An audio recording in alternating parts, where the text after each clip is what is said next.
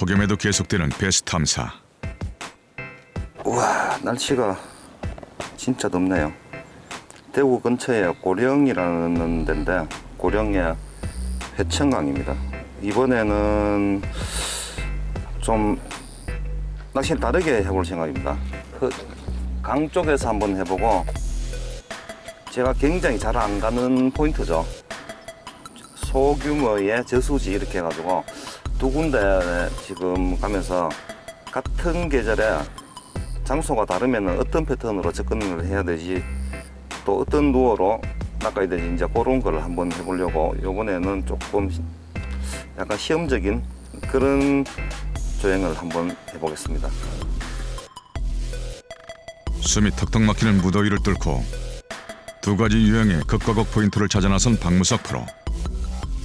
강 그리고 소규모 저수지가 오늘의 필드입니다.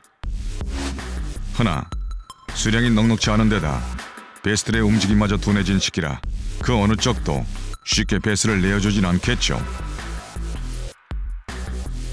루어의 액션을 현장의 bait fish에 얼마나 똑같이 운영하느냐에 따라 성공 확률이 달라질 터. 극과 극 포인트에서의 매치 더 베이트. 다시 도전이 시작됩니다.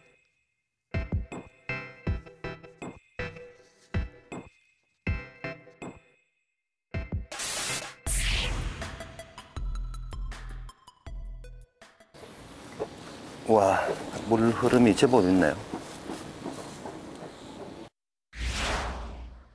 해천강 중상류 부분인데 어제 그저께 내린 비로 지금 물이 많이 뒤집혀 있습니다. 자, 다른 충청도 쪽으로는 지금 수위가 굉장히 저수위관데 경상도 쪽은 아직까지 그나마 조금 상이 더 좋은데 원래 물이 조금 있는 데라서 비가 오는 만큼 왔겠나 싶었는데 도착해 보니까 생각보다가 물이 조금 많이 흐리네요. 지금 이런 상황은 경험상 대부분 물이 흐리고 물살이 있으면은 옆쪽에 쇼라인 쪽에 가장자리 쪽으로 베스들이 많이 붙어 있습니다. 박 프로는 연안 쪽 가장자리 포인트부터 탐색해 나갑니다. 이제 매미 모양의 플러그인데 이런 쪽에 이제 물이 흐르고 유속이 생기면은 이제 상류에서 이제 곤충들이라든지 bait fish들이 많이 떠다니죠. 그 물속 물 위에 있던 곤충들이 떨어지기도 하고 이제 그거를 흉내내서 하는 건데 match the bait죠. 오늘 박무석 프로의 전략은 match the bait. 낚시 현장 속 베스트의 먹잇감과 가장 비슷한 형태의 루어를 찾아 공략하는 겁니다. 베스트는 원래 먹던 것만 먹으려는 습성이 있어서 생소한 생김새를 가진 루어를 쓸 경우 잘 먹히지 않기 때문이죠.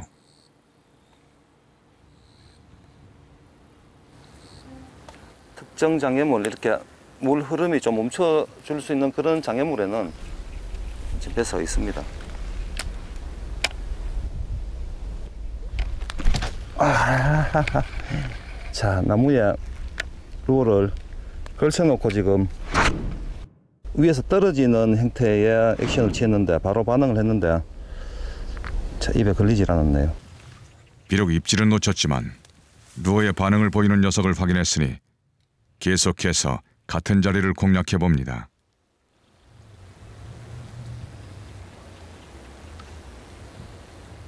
지속적으로 나무 위에서 벌레가 떨어지는 액션을 연출. 베스트의 사냥 본능을 자극하는 박프로.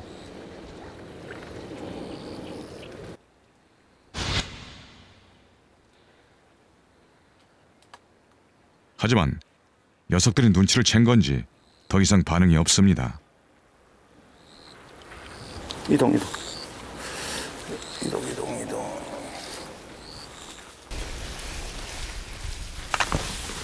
좀 더 깊숙한 자리로 옮겨 탐색을 이어가는 박프로. 수심이 얕은 것을 감안해 되도록 몸을 숨긴 채 캐스팅을 합니다.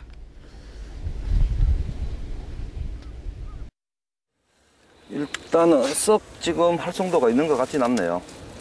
물이 좀 흐- 흐리고 지금 또 시간대가 가장 안, 안 물리는 시간대라 가지고 조금 지나면은 괜찮을 것 같은데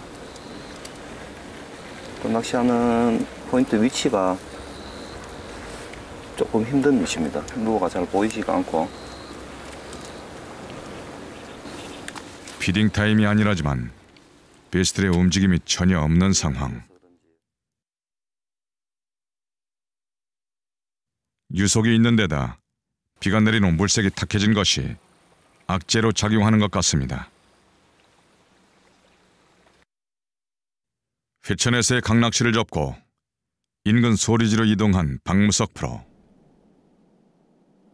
저도 지금 말만 듣고 여기 베스가 있다는 얘기를 듣고 아마 제가 낚시하면서 가장 작은 소류지로 지금 왔는 것 같습니다. 제가 워낙 강이라든지 늪지 뭐 수로 이런 쪽으로 좋아하고 댐도 좋아하는데 이런 소류지에서는 거의 안 해봤는데 서도 얘기했듯이 오늘은 극과 극으로 완전 포인트를 근데 강에서 사실 이제 흙탕물이 많이 져서 거의 입질을 받지를 못하고 몇 번 잔챙 입질만 받고 지금 feeding time이 다 돼서 소류지로 이동을 했는데 있다는 것만 알고 왔으니까 한번 해보겠습니다. 있겠죠?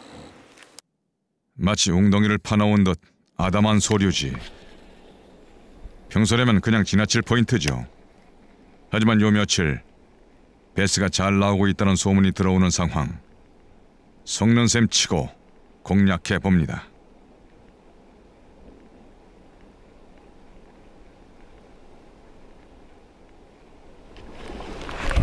오케이. 오, 딱 있네, 여기. 야, 있네요. 우와. 있어, 있어, 있어, 있어. 우와. 이야, 오늘 첫 배스를 제가 낚시하면서 가장 이상한 포인트에서 낚았습니다. 음, 회천강에서 흙탕물 때문에 저는 입질이 없어가지고 이쪽 저쪽 약간 전화를 걸어서 수소문 해보니까 가장 가까운 저수지가 여기인데 여기에 배석 있다고 해서 오는데 사실 반신반의 했는데 있네요. 자 프로그로 한 40대겠죠? 부악하네요. 갇혀져 있는 포인트이기 때문에 저 이런 쪽은 특히 타버터가 잘 됩니다. 위에서 떨어지는 곤충들이라든지 그런 것들을 많이 주시를 하기 때문에. 오 깜짝 놀랐네. 양이 많은 것 같진 않는데 몇 마리가 들어있는데 사실 반신반의 했는데 있네요. 루어를 서서히 당기는 순간 다시 fight. 오케이. 우와 이야 여기 뭐 이런 데가 있어. 우와 자, 자 아까보다 사이즈가 더 좋네요. 특이하네. 아까보다 사이즈 조금 더 커졌죠? 이것도 한 42, 3 정도 되는 사이즈인데 바로 앞에서 지금 물었습니다. 루어를 던지기 무섭게 베스가 낮게 올라오는 포인트. 오케이. 우와 이야 이거 뭐 CR도 기본 40cm 이상. 손맛도 화끈합니다. 지금 앞에 그 파란 수초가 있는데 그 수초 안에 한 마리 지금 났고 다시 도망가는 사이즈도 보, 보였거든요. 그 수초 안에 지금 물이 빠지니까 확 밖에 있네요. 자, 수심이 얕은 연안 쪽 수초대에서 낚은 소류지 배스입니다. 이곳엔 얼마나 더 많은 배스가 숨어 있을까? 자, 이 수심이 얕으니까 장애물이 물 속 안에 있는 수중 이거 뭐죠? 이게 수초들 마름이 딱 장애물이네요. 수심이 얕은 곳에서 베스들이 그나마 몸을 숨길 수 있는 것은 마름 수초뿐. 바로 그 자리를 집중적으로 공략합니다. 낚시를 거의 한 적이 없는 그런 필드인데 배서들이 굉장히 순진합니다.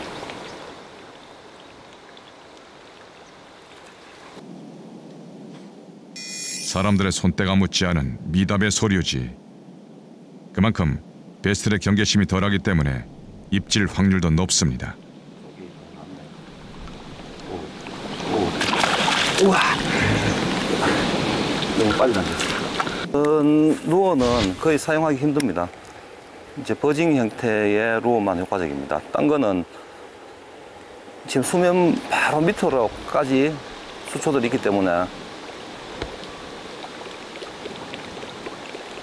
다른 루어는 거의 사용할 수 없는 그런 필드네요. GPS들이 언뜻 언뜻 보입니다. 그 파랗게 들어가 있는 수조 속에서 움직이는 것들이 보이는데 수위가 많이 줄고 규모가 작다 보니까 굉장히 지금 예민한 상태인데도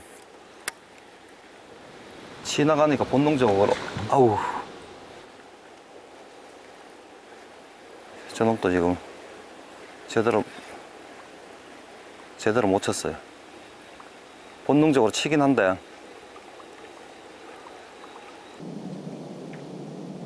물속 수초 사이사이에 박혀있는 베스들 수위가 워낙 낮다 보니 녀석들도 몸을 사리는 듯합니다.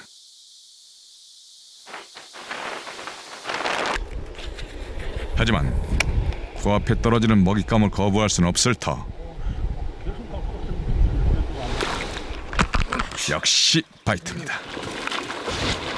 아. 음, 야, 이런 작은데 사이즈가 정말 좋습니다. 이거. 작은 저들 치고는 사이즈가 좋아. 우와. 자, 비슷비슷하긴 한데, 자, 이 작은 저수지니까 그 큰 것처럼 빵빵 한 배스는 없는데, 그래도 이 정도 되면은 굉장히 훌륭하죠. 자, 40파운드 합사의 extra heavy 액션을 가진 rod입니다. 자, 7.5대 기어 들어갔고. 뜻밖의 소류지에서 마리수 재미를 톡톡히 본 박무석 프로. 좀 더 아래쪽에 자리한 소리지도 공략해볼 참인데요. 갑자기 거세진 바람. 분명 베스가 있을 거라고 믿고 캐스팅을 이어갑니다. 아직 확실하게 감은 안 오는데 일단 수초나 이런 게 좀 있으면은 낚시하기가 쉬울 건데 너무 맹하네요. 두 가지입니다. 이 수초가 없다는 거는 물이 빠져서 금방 찼다는 건지 아니면 수심이 굉장히 깊다는 건데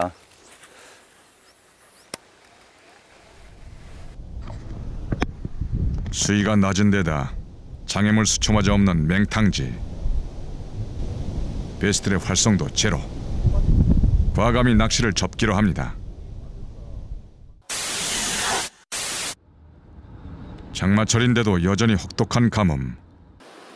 낚시할 곳 찾기가 쉽지 않은데 다행히 깨끗한 물이 유입되는 포인트를 찾은 박무석 프로.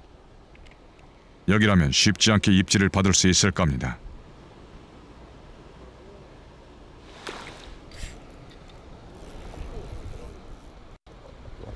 오 크다. 씨. 오, 아니나 다를까 몇 번의 캐스팅 만에 입질 오 성공. 크다.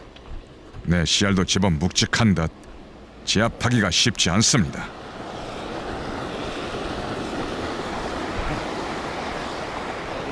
이렇게 샘물 들어오는데 와야만 고기가 있네. 와, 완전히 삼켰어. 우, 못 끌어올리겠다. 우와. 뜻밖의 선물 같은 배스입니다.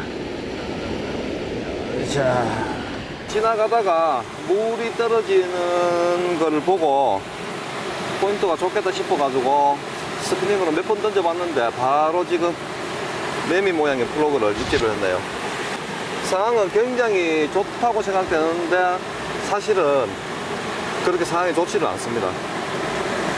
자, 작은 매미 모양의 플러그를 입안 깊숙이 삼킨 녀석. 물이 콸콸 쏟아져 나오는 곳에서 낚은 덕분에 손맛 역시 두 배로 짜릿했습니다. 한꺼번에 많은 양의 새물이 유입되는 포인트. 용존 산소량이 높아 배스가 있을 확률이 높죠. 아, 상황이 쉽다고 생각했는데 아침 상황이 너무 어려웠는데 그래도 역시나 이렇게 흐르는 물에 산소량이 많고 이런 쪽은 배스가 그래도 낱말이라도 있습니다.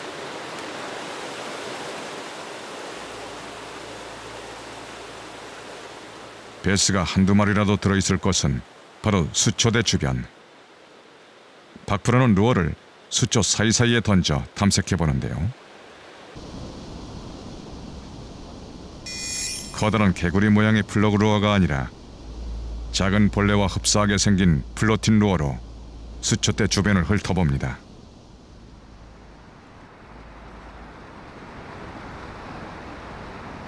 하지만 예상과 달리 별다른 반응을 보이지 않는 녀석들.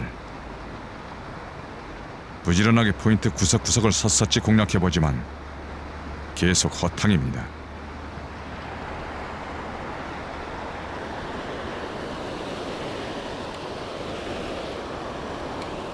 혹시 이곳에서 배스들이 즐겨 먹는 먹잇감과 군이 사용하는 루어 형태가 다른 걸까? 어쩐지 match the bait 전략이 잘 먹히지 않는 것 같습니다.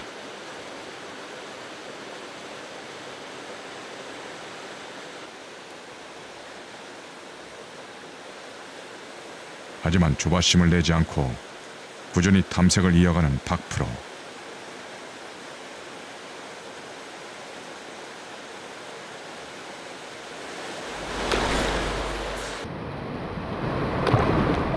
기다림이 결실을 맺는 순간 오, 흰밥. 이번에야말로 런커급 베스가 나온 걸까요? 오, 사이즈 좋아. 야, 이거는 스피닝으로 제압이 안 되는 사이즈입니다. 우후. 자. 오, 좋아, 좋아, 좋아. 와. 이제 합사 1호에 쇼크리더 10파운드를 먹고 나왔으니까 너무 강제로 지금 제압을 못 하겠는데. 우와. 으아. 자, 아까 사이즈보다는 훨씬 더 좁네요. 자, 한 45 정도 되는 훌륭한 사이즈입니다. 이놈도 완전 입안에까지 확 가는데요. 자, 시꺼먼 게 완전 수초 안에서 사는 그런 배스입니다. 자, 유속이 줄어드는 가장자리 포인트에서 낚은 베스입니다. 자, 요 흐, 흐름이 죽는 사이드 쪽에 지금 작은 매미 모양이죠. 매미 모양의 플러그로 공략을 했는데 흐름이 죽는 옆에 있다가 지나오니까 바로 공략을 하네요. 3g 정도밖에 되지 않는 가벼운 채비에 맞추려고 오랜만에 스피닝 릴을 사용 중인 박무석 프로. 스피닝 릴은 덩치급 배스를 낚아 올리긴 어렵지만 섬세한 낚시를 즐길 수는 있죠. 오케이. 아, 빠졌다. 아. 으, 요거는 좀 사이즈가 아까보다는 조금 더 작았는데 너무 가까이서 물었어.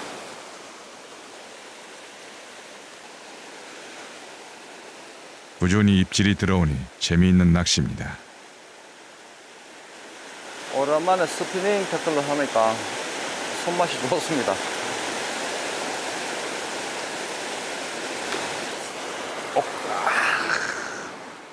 잽싸게 루어를 따라와 공격하는 베스. 하지만 제대로 물질을 못했습니다.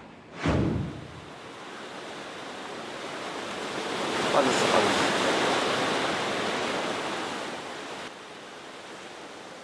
이렇게 입질을 놓치고 나면 베스들이 경계심을 갖기 때문에 다시 바이트를 유도하기 쉽지 않습니다.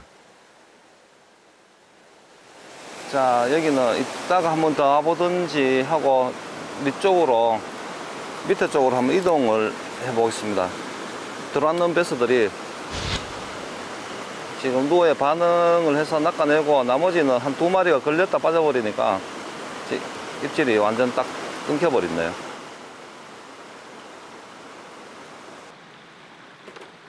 소강 상태에 접어든 포인트를 뒤로 하고 하류 쪽으로 이동하는 박프로. 이제 같은 타모터 계열인데 floating worm으로 조금 더 예민하게 해가지고 벌레 모양의 floating worm으로 교체를 해가지고 하면은 입질이 있을 것 같습니다. 지금 rising을 bait fish들이 계속 rising을 하거든요. 뛰거든요. 그 눈높이에 딱 맞춰가지고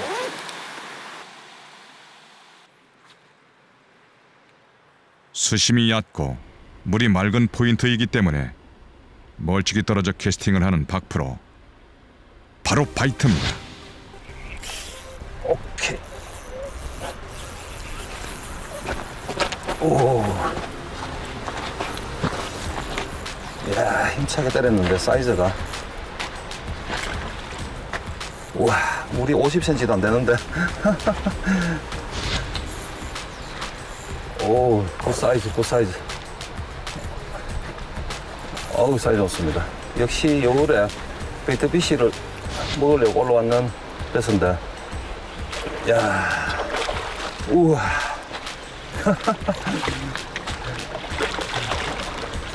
Good size. 우. 오짜네요. 자. 예상 적중. 자, 여울에 지금 보시면은 수심 한 50cm도 안 되죠? 안 되는데 이 정도 사이즈가 지금 왜 여기 있냐? bait fish가 있기 때문에 이렇게 얕은 데도 지금 있는 겁니다. 자, 스피닝 light 대에 1호 합사입니다. 1호 합사에 shock leader 10파운드. 자, 2000번 애닐. bait fish를 따라 들어온 배스인데 완전 얘는 요 앞에서 바로 뭐 30cm죠. 50cm가 아니고 땅이 다 보이는 데서 그래서 좀 멀리서 캐스팅을 했습니다. 가까이 들어가면 빠지기 때문에 멀리서 캐스팅했는데 바로 여기 앞에서 내가 공략하는 필드의 bait fish에 맞춰 루어를 운용하는 것. 오늘의 match the bait 전략은 대성공입니다.